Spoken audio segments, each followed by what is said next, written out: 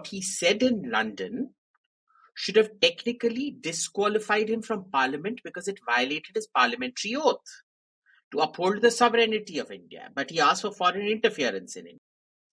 Now, did you notice they never brought that up?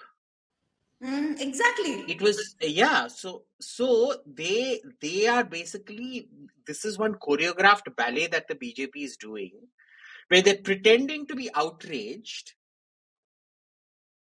you look at their faces. Tell me I, I want you to i want all our audience to go through the faces of that so-called outrage today.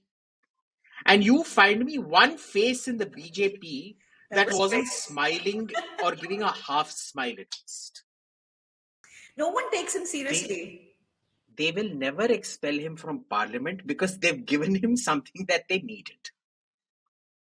So they're like why will we expel him from parliament? He's our biggest asset in parliament Thank you.